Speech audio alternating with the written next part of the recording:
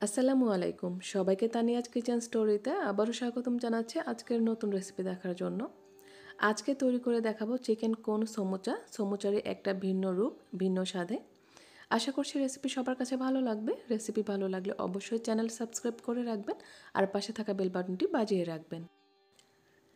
প্রথমেই চিকেনের একটা পুর তৈরি করে নিব। এর জন্য চুলায় প্যান বসিয়ে তিন টেবিল চামচ পরিমাণ রান্নার তেল দিয়ে তেলটা গরম হয়ে আসলে এর মধ্যে দিয়ে দিয়েছি। পনে এক কাপ পরিমাণ পেঁয়াজ কুচি। পেঁয়াজ কুচিটাকে কিছুক্ষণ ভেজে নরম করে নিব। যখনই পেঁয়াজ ভাজা থেকে খুব সুন্দর একটা ফ্লেভার আসবে, তখন এর মধ্যে আমি দিয়ে দিব হাফ চা চামচ করে আদা এবং রসুন বাটা। আদা এবং রসুন বাটাটা দেওয়ার পর এক থেকে দেড় মিনিটের মতো ভেজে নিব। এতে করে এগুলোর মধ্যে যে কাঁচা গন্ধটা থাকে, সেটা দূর হয়ে যাবে।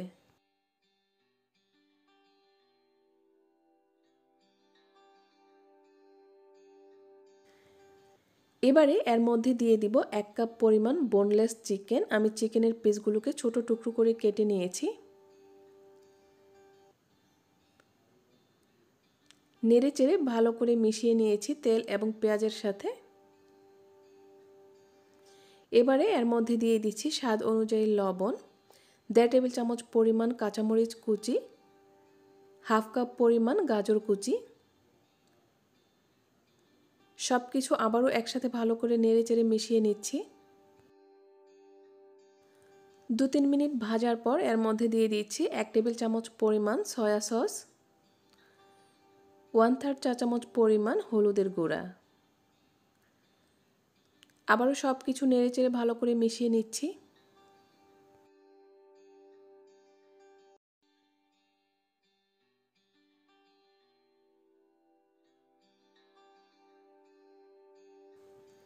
মেশানো হয়ে গেলে ঢাকনা দিয়ে ঢেকে চুলার আঁচটাকে মিডিয়ামে রেখে কিছুক্ষণ রান্না করব। আর চিকেন থেকে যে পরিমাণ পানি উঠবে সেটা দিয়ে কিন্তু চিকেনগুলো ভালোভাবে সেদ্ধ হয়ে যাবে। তাই এখানে আলাদা করে কোনো পানি অ্যাড করার দরকার নেই। প্যানের তলায় যাতে লেগে না যায়, সেই জন্য ঢাকনাটা উঠিয়ে মাঝখানে কয়েকবার নেড়ে চেড়ে দিতে হবে।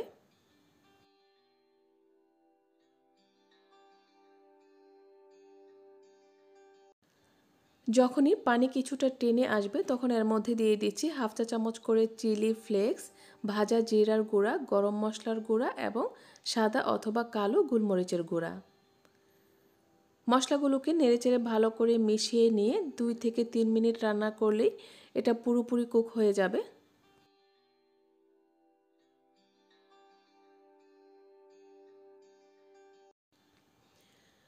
আমাদের চিকেনের পুরটা রেডি হয়ে গেছে। চুলাটা অফ করে এটাকে এক সাইডে রেখে দিব। তারপর আমি একটা ময়দার ডো তৈরি করে নেব। এর জন্য এখানে এক কাপ পরিমাণ ময়দা নিয়েছি।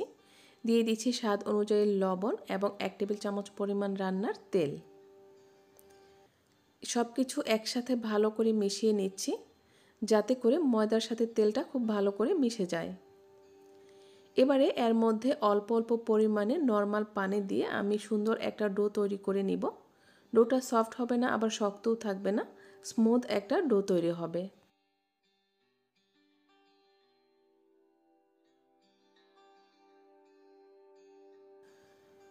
ডোটা রেডি হয়ে গেছে। এবার এই ডোটাকে আমি কয়েকটা ভাগে ভাগ করে নেব রুটি বেলার জন্য। যেহেতু রুটিগুলো অনেক পাতলা করে তৈরি করতে হবে, তাই এখানে আমি ভাগগুলো ছোট ছোট করে করব। এই ছোট ভাগগুলো দিয়েই কিন্তু মোটামুটি বড় সাইজের একটা রুটি তৈরি করা যাবে।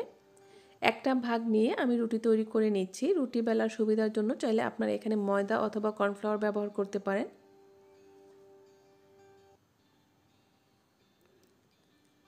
আমি আপনাদেরকে দেখিয়ে দিচ্ছি রুটিটা কীরকম পাতলা হয়েছে। চাইলে এর থেকেও পাতলা করতে পারেন, যতটুকু সম্ভব পাতলা করা যায়। তবে ছিঁড়ে যেন না যায়, সেদিকে খেয়াল রাখতে হবে। এভাবে করে আমি সবগুলো রুটি তৈরি করে নেব। রুটিগুলো তৈরি করার পর এগুলো আমি তাওয়ায় হালকা ছেঁকে নিব। এর জন্য চুলায় প্যান বসিয়ে প্যানটা গরম হয়ে আসলে এর মধ্যে প্রতিটা রুটি, প্রতিটা পাশ আমি আধা মিনিটের মতো করে ছেঁকে নিব। আপনারা দেখেই বুঝতে পারছেন রুটিগুলো আমি কীরকম করে ছেঁকে নিয়েছি, এভাবে করে প্রতিটা রুটি ছেঁকে নিব। রুটিগুলো ছেঁকা হয়ে গেছে, এবার সমোচা তৈরি করার জন্য প্রথমে আমি একটা ময়দার গ্লো তৈরি করে নিব। এর জন্য এখানে আমি ওয়ান ফোর্থ কাপ পরিমাণ ময়দা নিয়ে এর সাথে সামান্য পানি অ্যাড করে একটা গ্লোয়ের মতো তৈরি করে নিচ্ছি।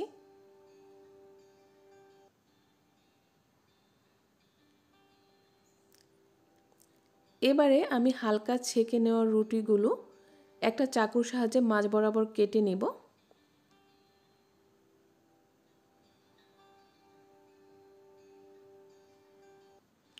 প্রতিটা রুটি এভাবে দুই ভাগ করে নিতে হবে।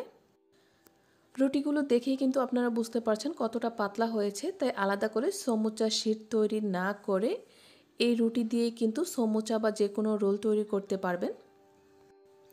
কাটা হয়ে গেছে, এবার রুটির একটা ভাগ নিয়ে আমি সমুচা তৈরি করে নেব। প্রথমে মাঝখানে এভাবে আমি একটু গ্লো লাগিয়ে নিচ্ছি যাতে করে সমুচার কোনটা খুব ভালো করে সিল হয়ে যায়।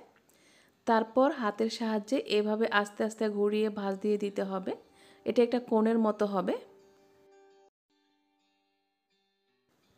সাইডের অংশটা যাতে খুলে না যায় সেই জন্য সাইড থেকেও আমি এভাবে গ্লো লাগিয়ে নিচ্ছি।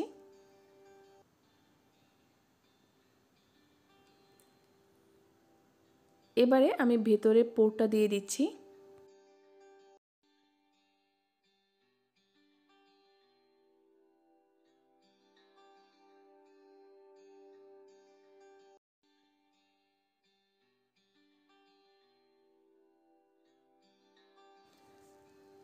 আমি আরও একটা সমুচার ভাজ দেখিয়ে দিচ্ছি।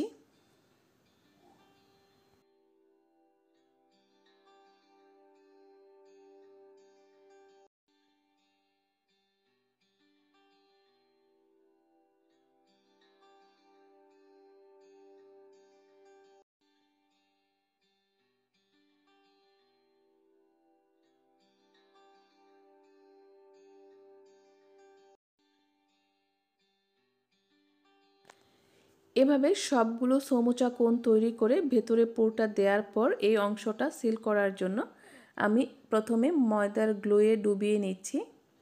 তারপর এখানে কিছু বার্মিসেলি শ্যামাই ভেঙে গুঁড়ো করে নিয়েছি। এতে করে দেখতে আকর্ষণীয় লাগবে এবং খেতেও ভালো লাগবে, একটা ক্রিস্পি ভাব আসবে। সবগুলো আমি একইভাবে তৈরি করে নিয়েছি। এবার এগুলো তেলে ভেজে নেব। এর জন্য চুলায় প্যান বসিয়ে তেল গরম করে নিয়েছি। চুলার আঁচটাকে মিডিয়ামে রেখে সবগুলো সমোচা ভেজে নিতে হবে।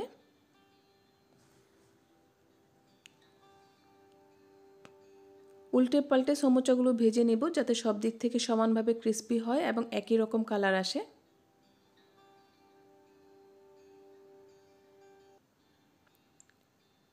যখনই এরকম হালকা গোল্ডেন কালার হয়ে আসবে তখন এগুলো আমি উঠিয়ে নিচ্ছি আর একইভাবে সবগুলো সমোচা ভেজে নিব। যে কোনো সস অথবা চাটনির সাথে এই সমোচাগুলো খেতে অসাধারণ লাগে। আর যারা সমোচা খেতে ভালোবাসেন, আশা করছি তাদের কাছে এটা অনেক ভালো লাগবে।